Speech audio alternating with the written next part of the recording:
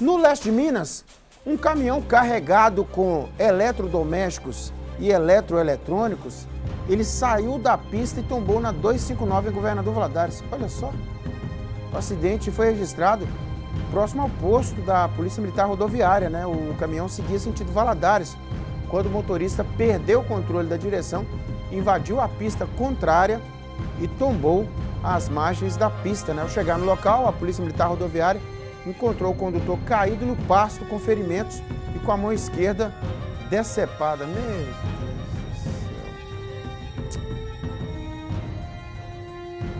Que tristeza. Eu conheço essa curva aí, ó. Sabe ali, né, Lamone? Perigosa, curva perigosa.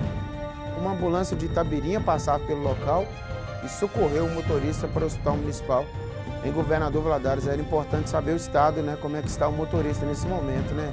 O hospital não gosta muito de revelar, né? É, e até explicar para as pessoas de casa, é, é importante aproveitar esse espaço para isso. Tem dias que eu estou querendo falar sobre isso.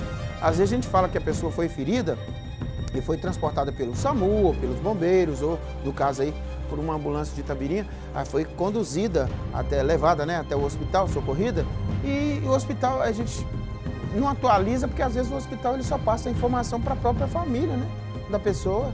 Então assim, a gente fica Aí, aí, morreu? Aconteceu alguma coisa? O que aconteceu com fulano? Porque às vezes é o parente da pessoa, né? Mas a gente não tem como falar, porque a, a informação só sai para a própria família, né? Por isso que às vezes a gente não atualiza isso aqui, né?